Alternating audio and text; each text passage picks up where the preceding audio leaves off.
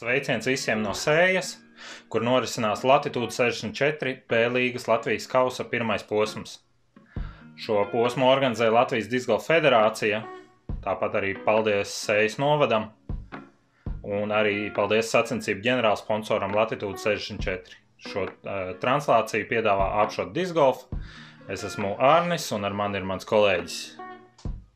Jānis, čau visiem! Ā, Ļoti karstajā dienā, saule spīd tā, ka nemetās, mākoņi nav. Daži koki, kuros atpūsties un uh, piedzīvot ēnu, bet uh, tā spēlētājiem šodien būs karsti.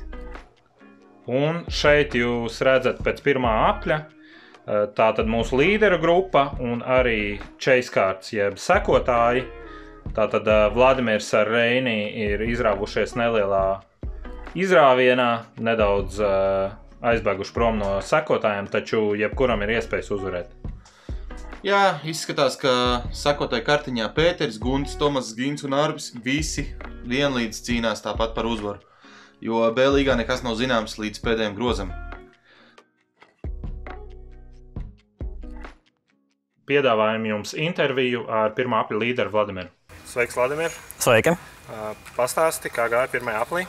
Nu, vispār man cerību īpaši nebija, kad es atbraucu, tāpēc ļoti priecīgs par tādu rezultātu. Nu, tas ir pirmā reize, kad es vispār šeit minusā nospēlēju. Tāpēc ļoti priecīgs esmu. Uh, Un kāds ir tavs rezultāts šobrīd? Uh, Šobrīd man mīnus 4 pirmajā aplī.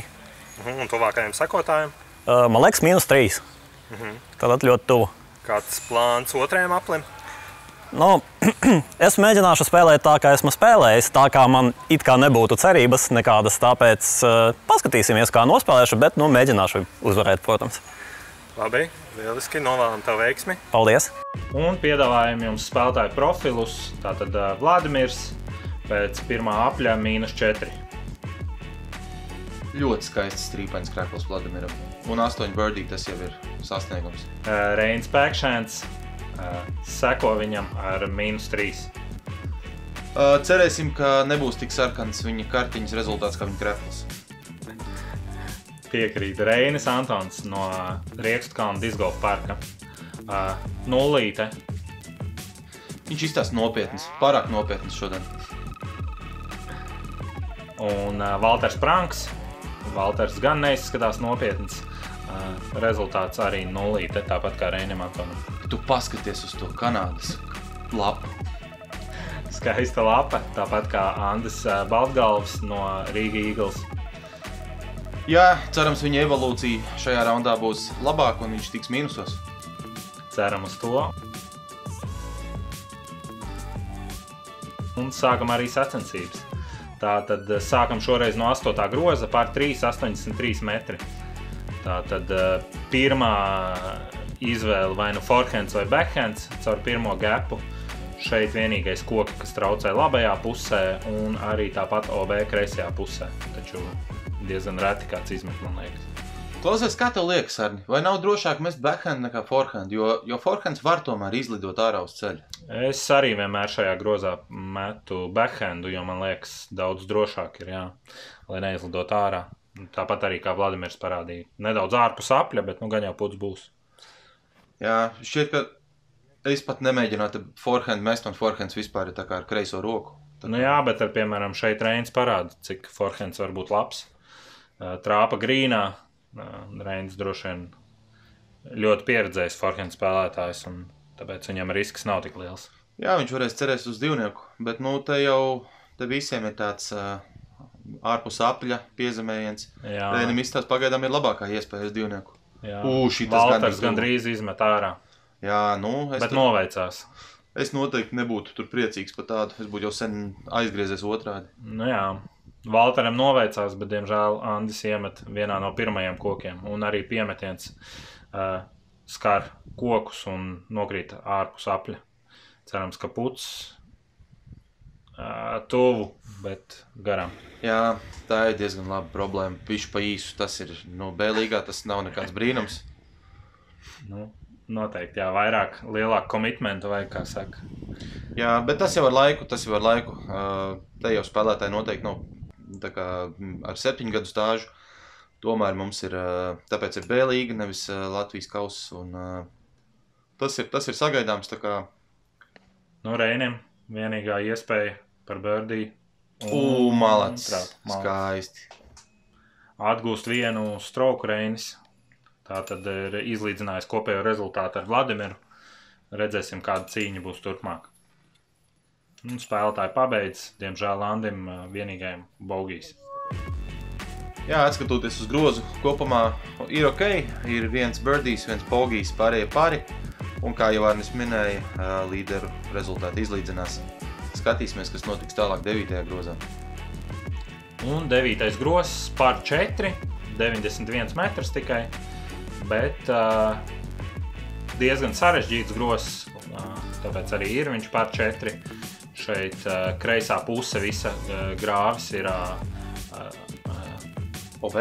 OB.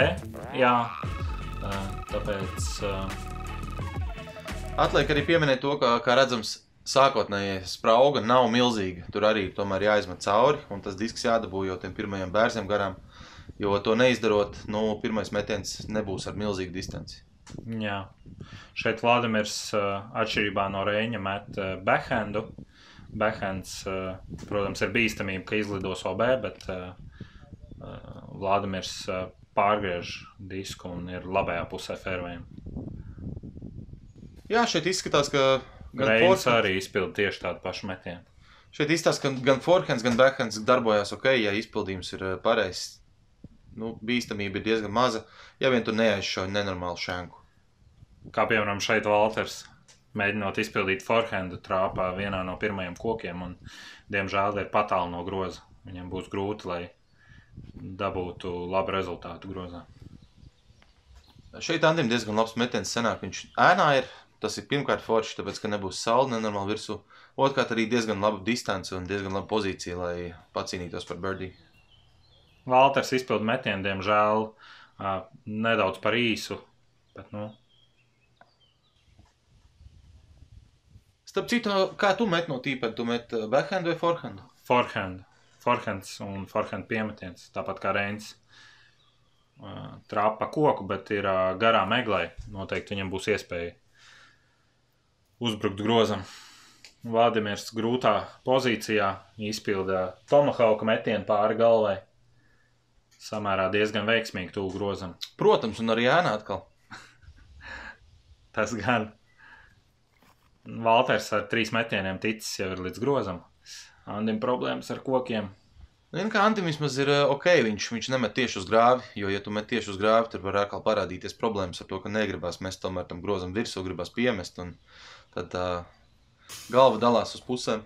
Reinas līdzīgā situācijā kā Andris, bet uh, nespēja trāpīt putu nedaudz par īsu. Par zemu. Nu, skatāmies, kas šeit notiek. Mm, ok. Valters realizē paru, izglābās pēc pirmā neveiksmīgā metiena.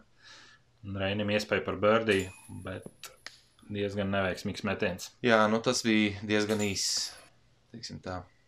Jo nebija tā distance nemaz tik tālu. Bet, nu, diemžēl nedabū. Nekas, grozs ir pabeigts draudzīgi.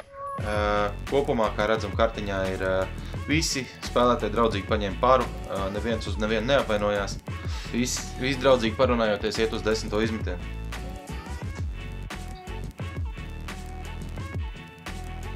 Tātad desmitais grosis noteikti viens no vissarežģītākajiem šajā trasē. Tātad pār 321 metrus.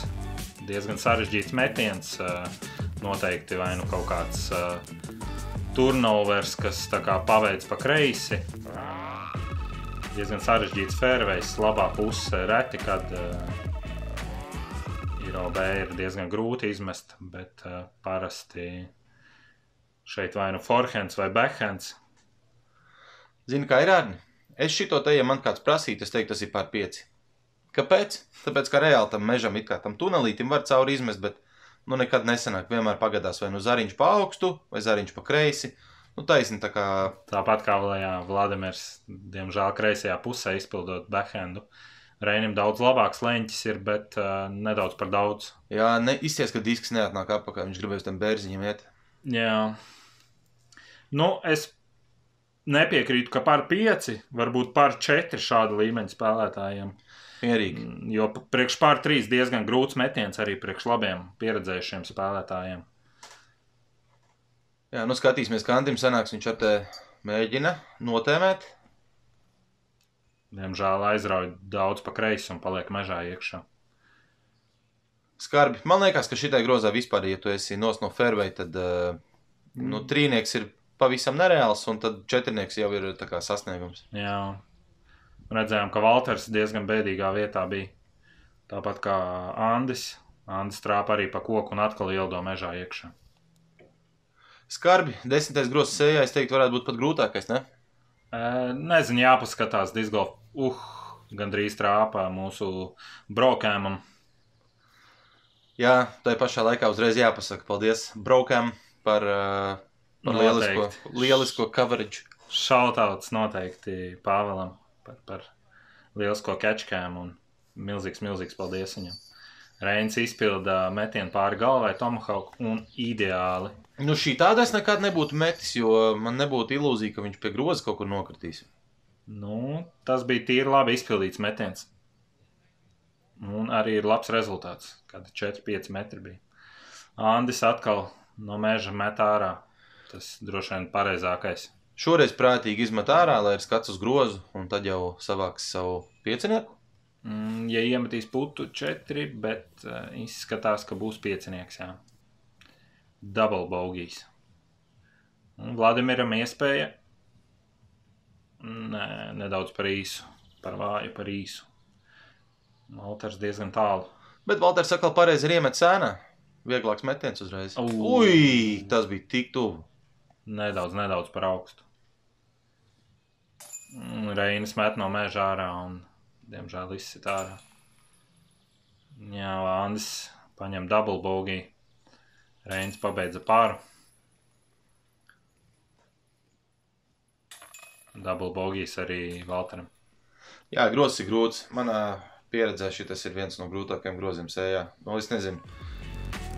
Ir tik daudz džungļu sānos, ka, nu, kā tu tiec iekšā, tā grūti tikt ārā. Un tad tie piecinieki arī savācās. Bet, jā, kā redzam, viens pāris, malācis Rēnis, divi bogiji un divi double bogiji.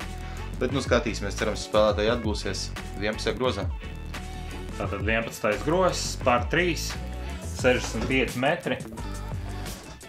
Uh, vienīgais, kas traucē, ir koki. Tā īstenībā nav nemaz tik sarežģīts, jo vienkārši taisnīgs metiens. Grozs kreisajā pusē priekš. Arne, es domāju, ka to mēs arī redzēsim diezgan bieži, jo nākošie grozi diezgan daudz būs mežā, un Jā. vienīgais, kas traucēs, būs koki. Piekrīt, jā. Piekrīt, jā. Bet jā, šis salīdzinoši taisns, kā zināms, taisnais metiens ir visgrūtākais disku golfā, tā kā skaisti. Šeit metiens. ideāls metiens. Vladimiram izdodas. Noteikti, ka varēs dabūt birdī. Jā, tas bija diezgan tuvu grozam, un, nu, kā redzams, pārējiem tik labi nesokās. Diemžēl Valters aizrauja daudz pa kreisi forehandu un paliek nepārāk labā vietiņā. Cerams, varēs izglābt pāri. Vēl atkal redzam metiens pāri galvai, jeb tomahaukus šajā gadījumā. Jā, neredzējām, kur piezemējās, līdz ar to gan jau, ka nebija pie paša groza. Nu, Andis ir jā, mežā, viņam būtu nāksies mest ārā un paņemt savu pāri. Reinim iespēja nedaudz par īsu. Otrs reinis arī atrodas aiz kokiem, diezgan grūti trāpīt šādu metienu.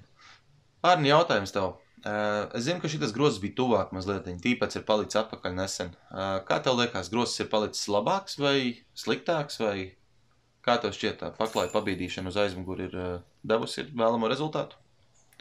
Šajā grozā noteikti tie tādi 50 metrīgie, kur tev jāizvēlās starp ā, puteri vai midrange. Noteikti, ka. Uh, nu, noteikti, ka 65 metri ir ā, nedaudz vieglāk nekā 55. Ok, super. Un grozs ir beidzies. Uh, Kā jau bija paredzams, uh, Vladimirs dabūs savu divnieku. Pārējiem, diemžēl, jāsamierinās ar paru. Uh, Skatīsimies, kas notiek tālāk. 12. grozs. Jā. 12. grozs par 3, 77 metri. Arī šajā grozā nelielas izmaiņas. Tā tad ir jauns mando koks. Kas iepriekš šeit nebija, arī dropzona labajā pusē un grozs pa kreisi no šī mando koka. Daudz grūtāks, daudz sarežģītāks grozs palicis. Tā jau ir pietiekami daudz koku šajā. Un redzams, kā Vladimirs aizmet garām mando. Nāksies mest no dropzonas ar sodu. Jā, man jau šitais grozs likās diezgan sarežģīts vēl pirms pārtaisīšanas, jo, kā redzams, šie koki fervejā, nu, viņiem cauri izlavīties ir diezgan Jā, sarežģīti. fairways ir ļoti šaurs. un Ļoti grūti ir ā, tikt līdz grozam. Grozs tagad arī nedaudz vairāk kreisajā pusē sanāk. Tad ā, redzam, Valters izpilda forehand metienu arī pa labi kokos. Bet, zini, man šķiet, ka tomēr pa labi kokos ir labāk nekā pa kreisi, tāpēc, ka tad tev nav leņķis apkārt mando, tev ir diezgan taisns skats uz grozu, un tomēr var, var censties to divnieku dabūt, nu, ja ne, tad trīnieks ir garantēts. Jā, tas noteikti drošāks metiens par backhandu. Jābūt ļoti lielai pārliecībai, lai ar backhandu tiktu garām mando kokam un iespēju dabūt birdiju. Kā redzam, Valters kokos, Andim nav nemaz tik slikta situācija. Puts. Ū, Atkal nedaudz. nedaudz par īsu, nedaudz. Vladimirs no dropzonas piemet pie groza.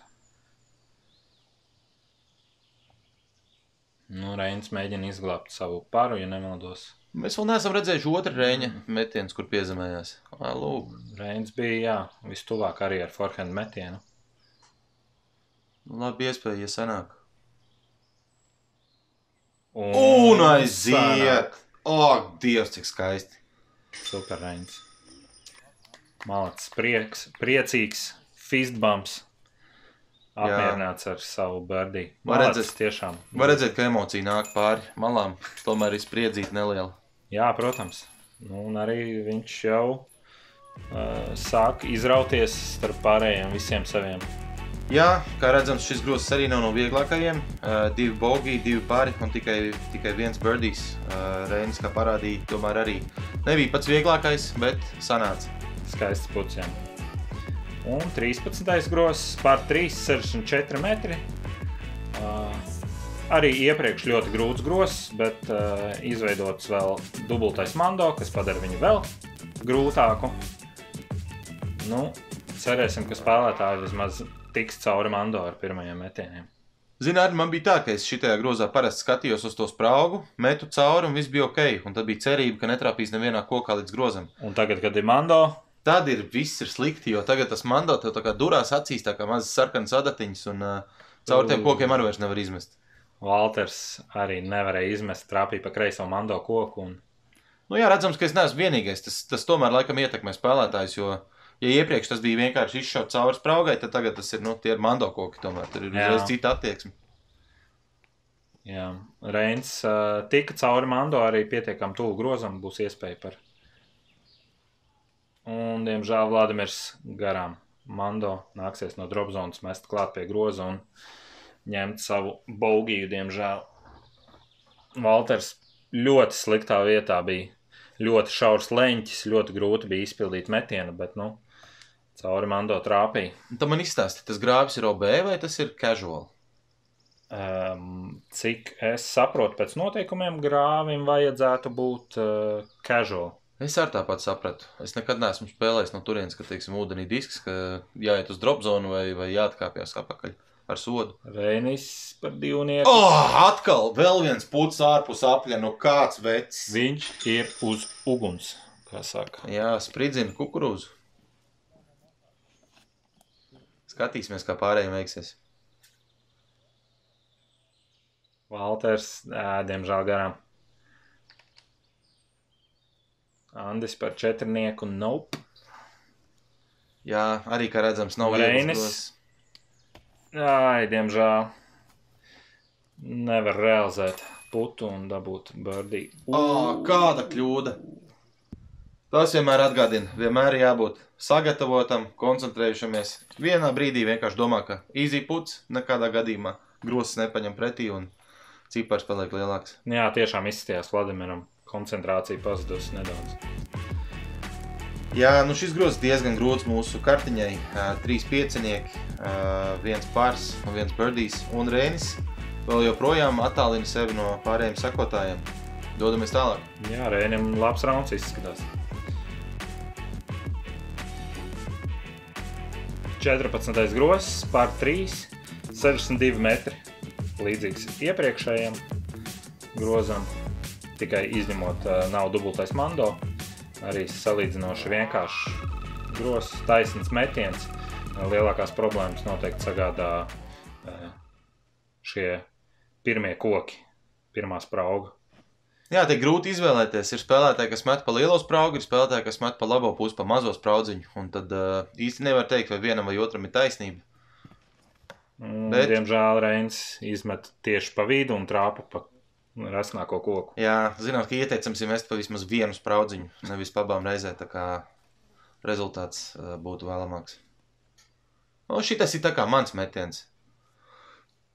Tikai ar stabilāku disku un būtu zem groza, bet uh, bija ok, pirmajā kokā netrāpīja. Vladimirs arī izpilda līdzīgu metienu. Un šis ir Kā tuvāk. Valters, jā, tīri labi. Jā. Nu, Reinim jāizpilda labs piemetiens, lai izglābtu paru. Ir ok, būs metiens, būs skats uz grozu. Jā. Andim par īsu, pa stabu, pa zemu. Altāra piemetiens. Vladimiram iespēja gandrīz nogalināt mani. Nu, tā, ir, tā ir dzīves realitāte. Ja tu gribi filmēt disku golfu, uzmanies no lidošiem šķīvīšiem. Un Diemžēl Reinim izspļauja ārā grozā. Rēņiem ugunskurs ir beidzies. Šajā brīdī izskatījās tuvu, bet uh, Nu, nav tik traki. Rauns pagaidām tīri labs. Nē, protams, rauns ir labs. Daudz bet, birdiju. Ņemot vērā, ka tikko iepriekšējos divos grozos bija zaļa kastīte, tā baltā būs kā trieciens. Un jā, kā redzam, tas tomēr tā, tas pariņš nav nekas slikts, jo 4 no 5 spēlētājiem dabūja pāru. Un uh, Vladimirs, diemžēl, uh, samierināsies ar Bogiju. Bet nekas, vēl priekšā ir daudz grozi. Uh, rauns ir tikai sācies nesen, tāpēc dodamies uz 15. 15. grozs pār 3, 65 metri. Uh, diezgan taisns metiens. Nu, šajā grozā vienīgie šķēršļi ir koki. Jā, Arni, cerēsim, ka koku spēlētāji apies pa vienu vai otru pusi. Skatīsimies, ko Reinis darīs. Reins izpilda backhand metienu. Labs metiens. Ugh, gandrīzais. Jā, skaisti. Nu, cerams, ka divnieks kabatā. Nu, noteikti divnieks. Otrs reinis arī tuvu aplim. Būs tālāks puts, bet arī iespēja iemest. Valters met, diemžēl, trāpa pa koku. Andis arī forehand metiens. Bet labi piezemējās arī iespēja dabūt birdī. Taisnība. Un Vladimirs izskatās mazliet pa īsu, bet arī tomēr skats uz divnieku ir visiem. Jā, aplī ir. Valters izpildā tālu putu. Ai, diemžēl garām. Jā, nedaudz pa īsu. Reinis. Super, malacis. Nu, Bardīs. Skaisti ārpus apaļa metiens. Pārliecinoši taisni. Jā, Vladimiram, diemžēl garām. Reinis paņem divnieku, Andis. Ā, gross nenoķer, izspļauj ārā. Spēlētāji uzlādēja grozu ar diskiem un dodas tālāk uz nākošo grozu. Šis grozs nebija viens no grūtākajiem, bet tāpat trīs spēlētājiem pāri. Divi dabūja savus divniekus. Skatīsimies, kā es tālāk 16. grozā. 16. grozs par 3, 65 metri.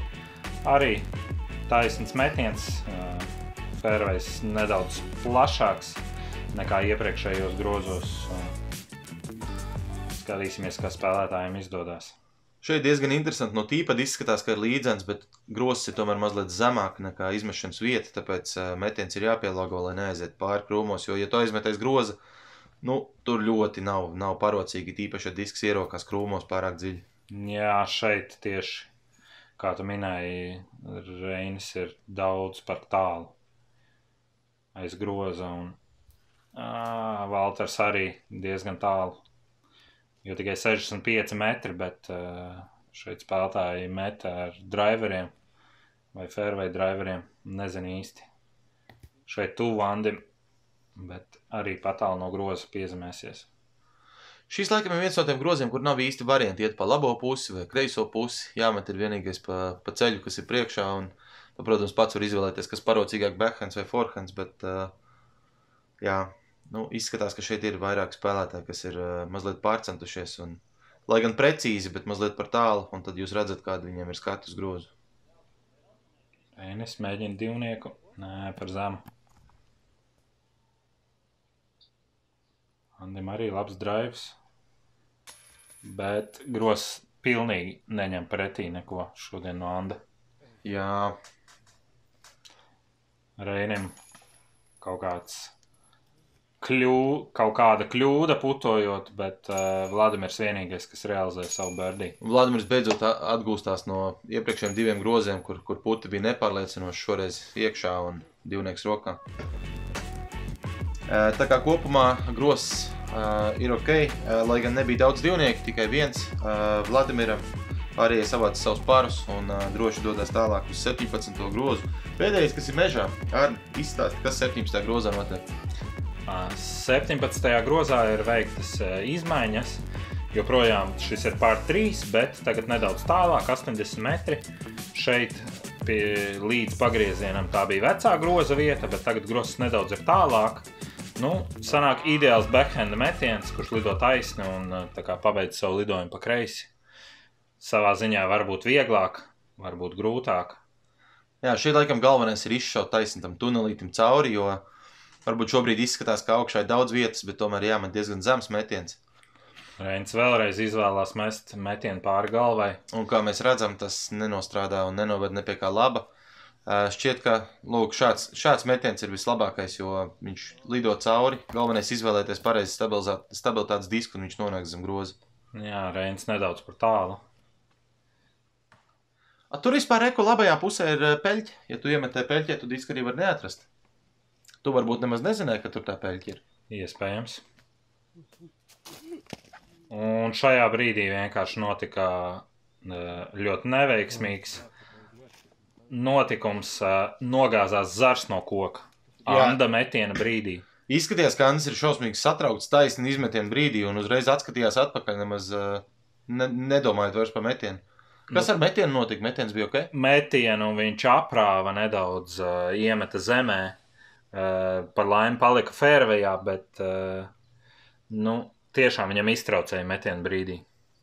Viņš man nokrita tieši blakus. Trāpīja šķēmas ar vai netrāpīja? Nē, netrāpīja. Nu, bet, tad- uh, Tā ir veiksmīgi. jā. Jā, redzam, arī šeit Rēnis ir it kā tuvu pie groza ticis, bet iemest ir gandrīz neiespējami, jo priekšā viņš ir bedrē un priekšā ir koks, priekšā ir pakalniņš. jā, nesanāca izglābt paru. Valters, ai, nedaudz pa kreisi. Un jūs redzat, arī šeit aiz, aiz groza ir pilnīgi krūmi.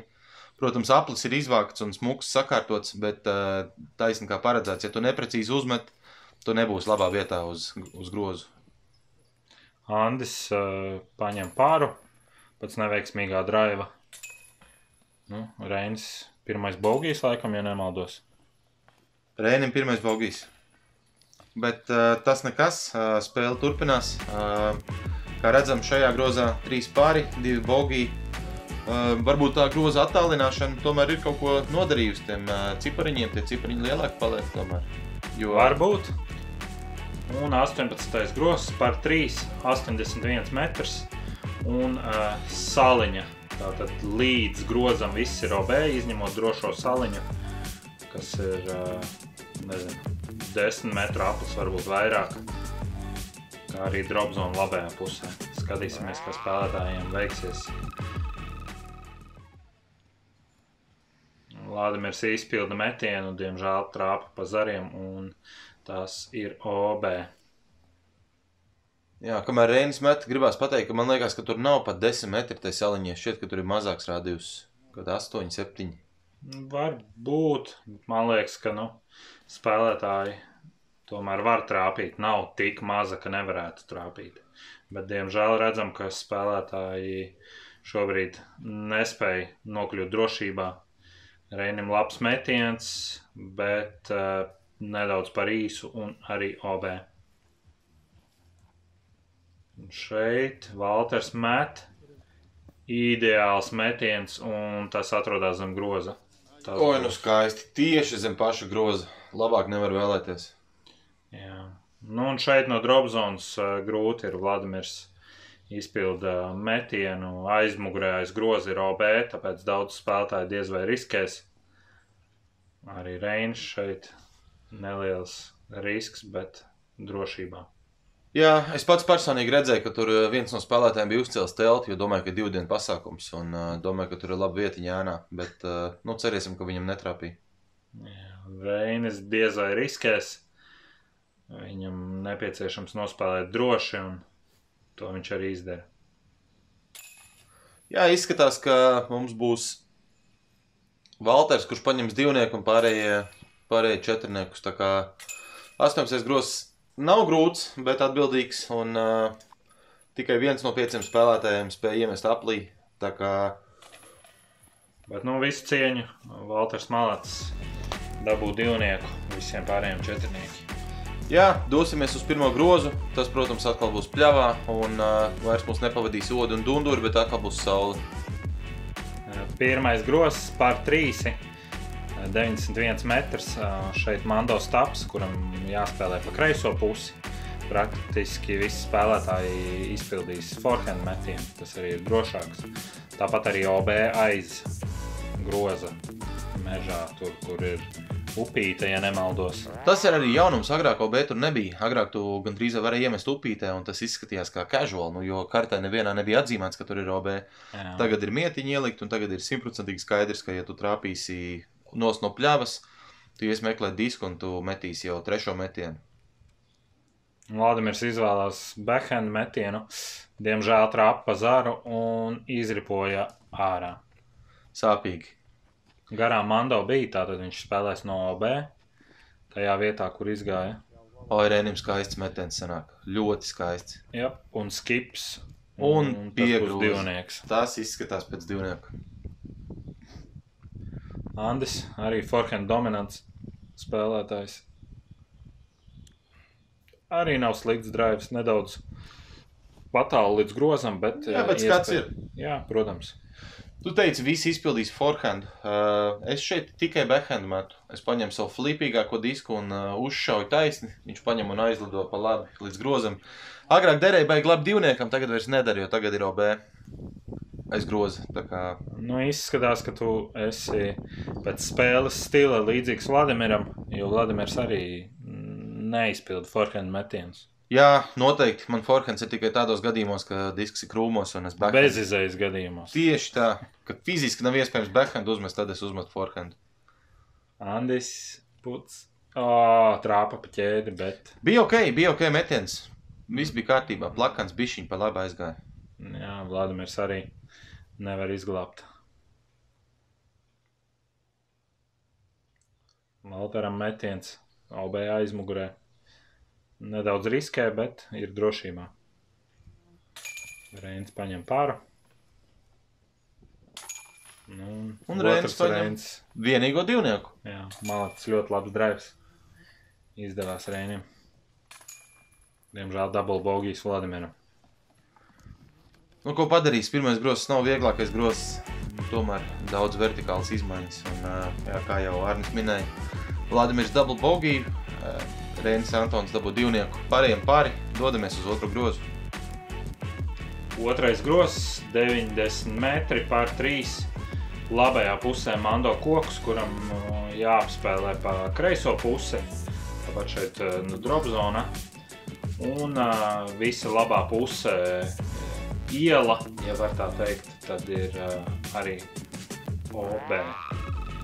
Jāpiemina, ka grozs atrodas diezgan stāvā kalnā. Ā, Kamera ā, to nespēja parādīt, bet ā, kalns ir ļoti stāvs.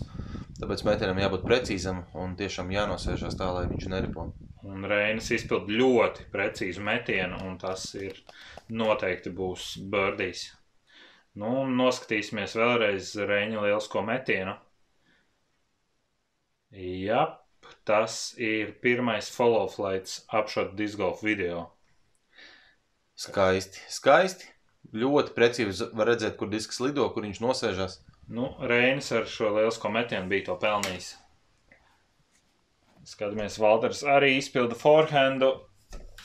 Arī nav slikti. Tīri, tīri labā vietā piezemējās. Klau, mēs Valteram arī varam parādīt follow flight. Uh, noteikti kādā citā video. Bet, uh, diemžēl, Andris ir tas, kurš nesaņems follow flight, jo viņš izmeta OB pārāk daudz haizera. Nāksies viņam izglābt Bogiju. Bet Reinis izpild ļoti skaistu metienu, pieskipo pie groza. Nu, abi divi Reini ir pelnījuši noteikti. Nu, zin, kā ja viens rēnis, tad otrs arī. Un šeit ir abi Reini metieni. Nu, ļoti skaisti. Nu, abi divi ir diezgan tuvu un visticamāk divnieks pareizi. Jā. Šeit uh, Vladimirs izpildā backhand metienu. Arī nav slikts rezultāts kalnu pakājē, iespēja uh, uz divnieku, ja izlems spēlēt agresīvi. Nu, zini, es tajā vietā nevēlētos agresīvi spēlēt, jo šķiet, ka, ja tu trāpi pa grozu un netrāpi ķēdēs, tad uh, var gadīties tas, kas notiek parasti, kad tu met pret kalnu. Disks aizripo kaut kur LRATā. Jā, bet Vladimiram labi piezemējās. un Valters izpilda savu metienu, mēģina iet uz grozu, bet, diemžēl, trāpa pa keidžu un noripo. Jā, te laikam jāpaņem ā, mācību stundu no Vladimira. Kā pareizi neiemest. Piekrīt. Malats Sandis izglāba Bogiju un Rēņi paņem savus bērdīs ar saviem ideāliem metieniem. Ļoti skaisti. Ļoti skaisti. Uh, tikai viens spēlētājs, kuram disks noripoja no groza lejā pa kalnu. Uh, man šķiet, tas ir diezgan pozitīvi. Uh, ņemot vērā to, redzam, uh, divi bogiji, viens pārs un uh, abiem reņiem pa birdijiem. Dodamies uz trešo grozu. Tātad trešais grozs par 3,67 metri. Aiz groza tek upe, kas ir OB, un arī labajā pusē volejbola laukums arī ir OB. Klau, kāpēc tu visiem stāsti? Varbūt parādām kaut ko interesantāku. Labi, ka tu ieminējies. Tātad uh, apšot disgolfu piedāvā dis, disku sekciju. Tātad visa upe un volejbola laukums ir OB. Un piezemēšanās zona ir pirms groza. Tā ir ideālā, kur piezemēt disku. Tātad, izpildot backhand metienu, to var veiksmīgi izdarīt. Tāpat arī forehand metieni, eh, ja ir pietiekami plaši, tad ir eh, arī veiksmīgi var piezemēties pie groza. Un, protams, pa taisno uzbrukot grozam, eh, taisnīgs metiens. Skatāmies, ko spēlētāji izpilda. Reinis izpilda straight shotu, bet diemžēl palā zemu un tālu no groza. Šķiet pārāk drošs metiens, jo tu negribi uzmest pārāk augstu. Tu labāk uzmet pārāk zemu, jo, ja ir pārāk augsts, tad ir auts. Jā, šeit noveicās Reinim, izpildot forehand metienu. Apstājās tieši pirms volejbola laukuma, kurš ir auts. Bet Vladimiram diezgan skaists metiens. Es teiktu, ka tas ir tāds, kā man parasti patīk, un varbūt bišķiņ pa zemu. Nedaudz pietrūks līdz ideālajai piezemēšanās zonai. Skatāmies, Andis nedaudz par šauru, iespējams OB, bet piezemēs veiksmīgi pirms OB. Viņš droši vien atrodas vistuvāk grozam. Nu, šīs metiens arī diezgan baiss ir. Ja tu mēģini iemest un netrāp uh, būri, tad visticamāk tavs disks ir jāmakšķerē. Jā, Bet uh, šeit prātīgs piemetiens un uh, drošs trīnieks. jā. Un Valters izpilda forehand piemetienu, ir drošībā. Vladimirs arī spēlē samērā droši, bet veiksmīgi disks piezemējās, viņš varēs savākt savu paru. Lai gan zinot Reini, varbūt, ka te būs iekšā. Nē, Nē. spēlē droši. Arī tomēr piemetiens. Nu, Andris jau centās tādu pa pusē. Iemetienu, Jā. pa pusē piemetienu. Bet izskatās, ka grupiņa savāks trīniekus un dosies tālāk. Jā, visiem spēlētājiem pari. Neviens neizmeta. Nē, volejbola laukumā, ne upē. Tā kā visi droši nospēlēja visiem par. Jā, neko nu, pielikt, neko atņemt. Dodamies uz 4. grozu, skatāmies, kas tur ir mainījies. Ceturtais grozs arī izmaiņas, grozs nedaudz tālāk. Tātad pār 301 metrus, diezgan sarežģīts. Grozs šeit visi šie koki priekšā esošie eh, traucē izdarīt uh, pilnīgi taisnu metienu. Pēc parasti spēlētāji izvēlās haizeri pa labo pusi, piemēram, backhand haizeri. Lai gan tur arī ir bīstamība, šī mājiņa un, visa labā puse ir uh, augs. Reins izpild backhand metienu ļoti augstu, bet uh, paliek kreisajā pusē. Man līdz šim vienmēr traucēja tā sēta, kas agrāk bija volejbola laukumā, kur kreiso pusi. Jā. Viņa neļāva izdarīt haizer metienu, viņa piespieda izdarīt taisnu metienu. Jā, jā, es arī esmu trāpījis šeit tīklā vai norobežojošā sētā. Jā, bet šobrīd spēlētājiem izstāsta ir vairāk vietas, var vairāk izpausties ar metienu līniju, var izvēlēties savu metienu līniju, kā mēs redzam, Alters uzšauja taisni, kas agrāk būtu caur tīklam. Metiens piezemējās diezgan jaukā vietā ar skatu uz grozu. Var Jā, cerēt uz diviem. Pagaidām izskatās vistuvāk grozam. Valters. Nu, Andis arī izpilda backhand, nevis forehand, bet eh, ļoti augstu. Nu, un kreisajā pusē nokrīt. Tas izskatās drīzāk uz veco grozu vietu. Gan drīz, bet viņš ir vēl daudz vairāk pa kreisi. Reinis izpilda piemetienu, ir grīnā, kāda 8 metri 9. Jaunā groza atrašanās vieta gan pievilina tos krūmus, kas ir. Jo, ja grozs agrāk bija starp eglēm, kur īsti nebija kur uh, pazaudēt disku, tagad grozs ir tuvāk pie krūmiem, un krūmos, ja tu iemet, tad uh, pēc personīgās pieredzes var teikt, tur ir diezgan sarežģīti atrast. Jā, šeit var redzēt arī, ka spēlētājiem traucē krūmi, bet nu, eh, Vladimirs un eh, Reinis eh, diezgan veiksmīgi tiek pāri. Nu, un Valteram labākā iespēja nedaudz pa kreisi. Vismaz garantēts trīs, un uh, mierīgi var doties uz nākošo grozu, meklēt divnieku. Diemžēl Reinis nespēja realizēt putu par paru, zaudēs vienu stroku pārējiem. Tu gribi teikt, ka tas nebija iekšā? Nē, tas bija pa labo pusi un ārā. Diemžēl Bogijs Reinim. Ko padarīsi? Jā, kā redzams, uh, Rēns arī vienīgais, uh, kuram nepaveicās šajā grozā. Vienīgais dabūt šeit, uh, pārējie dodas prom ar trīniekiem. Piektais grozs par 310 metri. Tā tad šķēršļi šeit ir gan koki, gan elektrības stabi. Ā, Kreisajā pusē arī dīķis, bet tur diez vai var iemest. ā, Bet visa kreisā puse ir OB, kā arī aiz groza. Arī labajā pusē šeit ir ā, šī mājiņa, kur ir iežogota ar sētu. Tad aiz sētas arī ir OB. Un diezgan grūti ir piekļūt ir, grozam. Šīs mazās eglītes un citi koki neļauj izpildīt labus metienus. Zini, es vēl pieminētu, ka pa ceļam labajā pusē tas, ko mēs varbūt neredzējām tik izteikti, ir vēl krūmi, kuros var iemest un disku neatrast ar stundām. Jā, piekrīt tam. Un Reinis met un trāpa pa priedi. Vladimiram metiens izskatās diezgan skaists. Starp abiem kokiem paliek pļaviņā. Būs, Jā, būs piemetiens. būs piemetiens. Diez vai grūti dabūt bērnu šajā grozā, jo distance pietiekami tālu un šķēršļu daudz. Un Valters trāpa pa vienu no šiem šķēršļiem, pa elektrības stabu un ir tālu no groza. Un šis arī izskatās diezgan uz dīķa pusi, bet uh, stiprais dīķa. Uh, kā tur ir? Upītē trāpīja vai Nē, netrāpīja? tur drošībā ir Andis. Bet uh, būs grūti veikt piemetienu, jo izskatās, ka krūmos. Bet Reinis gatavo forehand rolleri. Drosmīgi. Labi piezemējās zemē, labā leņķī. Un ripo, ripo, bet diemžēl zaudējot ātrumu, ieripo krūmos iekšā. Un šeit notiek chase-card check-ins, eh, Guntis priede. Apli rezultāts mīnus 5 un kopējais rezultāts mīnus 3. Tātad seko ļoti tuvu Reinim. Sestais gross, izpild backhand metienu, ļoti labs metiens. un noparko grozu. Tā tad iegūst vēl vienu strauku. Atgriežoties pie iepriekšējā reņģa metiena rolleris, es to pirmo rolleri redzēju, kāds ir bijis vispār grozā. Uh, tu pats esi metis tur rolleri?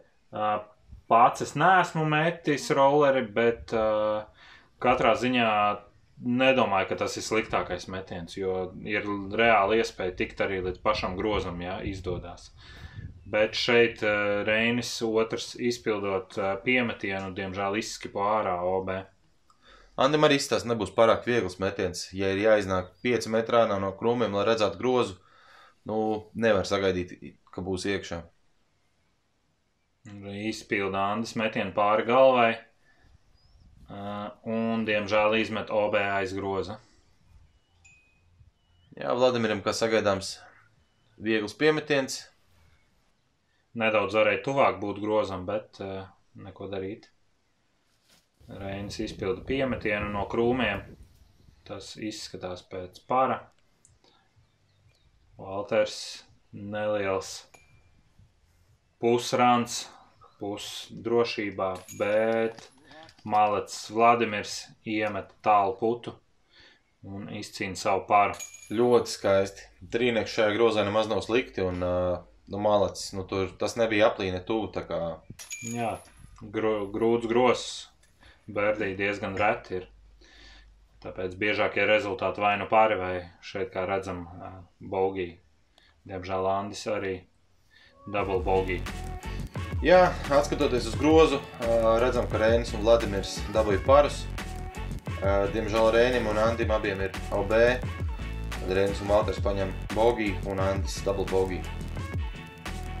Sestais grosis pār 3, 69 metri.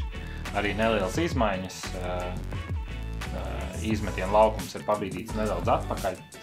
Bet, nu, šis dīķis slavens arī ir ar disku apēšanu, ja tā var teikt. Nu, beidz, es pats nomarināju tur vienu puterīti. Kaut kādu pusgadu. Bet viņš pēc tam lido labāk. Tā kā, ja jums nav žēl uz pusgadu iemarinēt, tad droši. Šeit var redzēt, ka tīpats vecais atrodas nedaudz priekšā. Vladimiram pāri dīķim ir drošībā. Reins izpilda lielu haizeru metienu, bet, eh, diemžēl, trāpa elektrības stabu.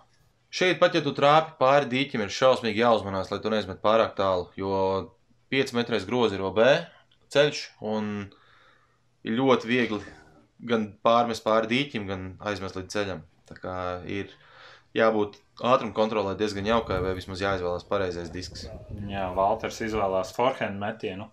Diemžēl sāk fleksot ārā, un viņš būs labajā pusē ar diezgan sarežģītu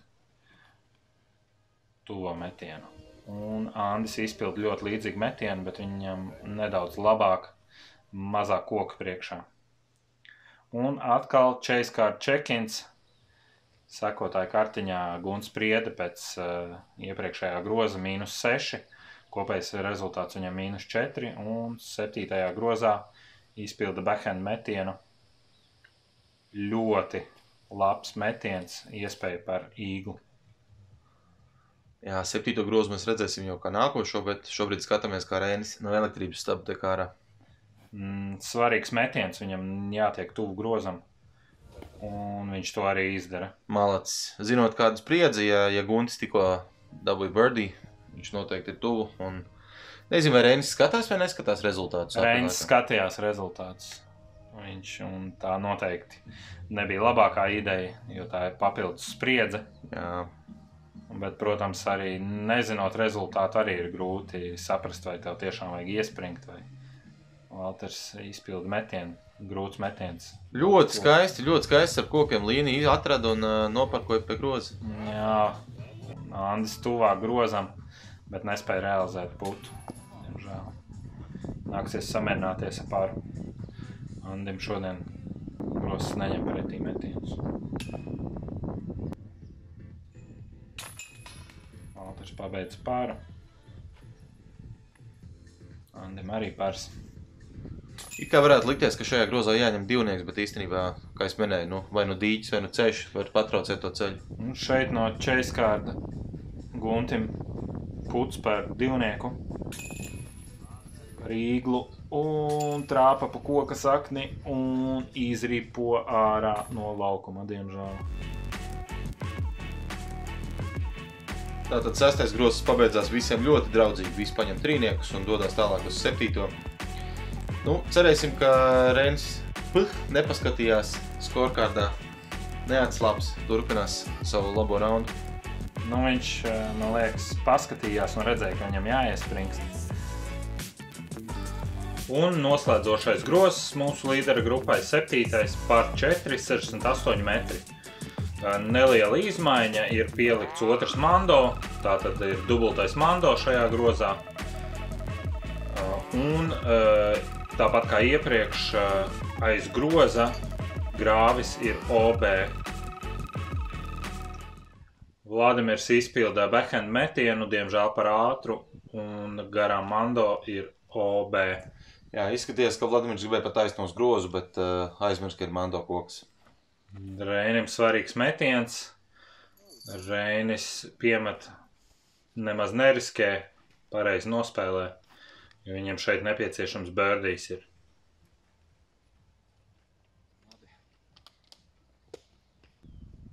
Valters izpild backhand metienu arī nedaudz par ātru, tāpat kā Vladimiram izlido OB, jo netiek garām mando. Un Andris izpilda augstu backhand metienu, bet tas izskatās būs drošībā. Jep. Tas ir labs metiens. Un veids piemetienu, pietiekam tuvu. Labs piemetiens no Anda. Nu, skatīsimies, kā veiksies pārējiem spēlētājiem.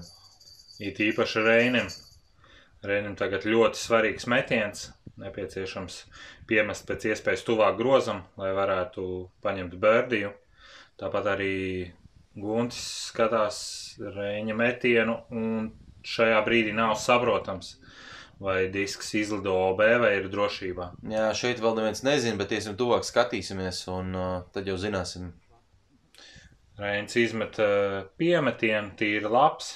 Tāpat arī Valteram no dropzonas pietiekam tuvu grozam, mm, lai dabūtu bogiju. Un Vladimira piemetiens arī droši, ļoti tuvu grozam. Malacis. Gan jau, ka tur būs pāris. Visticamāk. Un, diemžēl Valters neiemet putu, lai gan šis senāk bija par Baugiju. Saņems laikam dublu Baugiju. Zinu, kamēr Andris puto, man šķiet, es tomēr gribētu zināt, kur Reinim tas disks nokrita. Vai viņš ir grāvī, vai viņš ir pirms grāvja. Nu, un to var tagad redzēt, eh, ka Reņa disks bija drošībā, un eh, Guntis redz, ka, redz, kā Reinis iemet savu birdiju, un, diemžēl, eh, Guntis paliek otrajā vietā, un Reinis būs uzvarētājs šo sacensību. Jā, kamēr spēlētāji piebeidz. Uh, ir diezgan, uh, kā jau es minēju, pašā sākumā karsta diena. Uh, visiem gari divi apļi. Uh, šīs ir otrā apļa beigas. Um, prieks redzēt, ka uh, septītajā grozā ir divi birdie, uh, divi pari. Uh, diemžēl arī viens bogi bija jāredz, bet uh, kopumā spēlētāji rādīja diezgan labu rezultātu.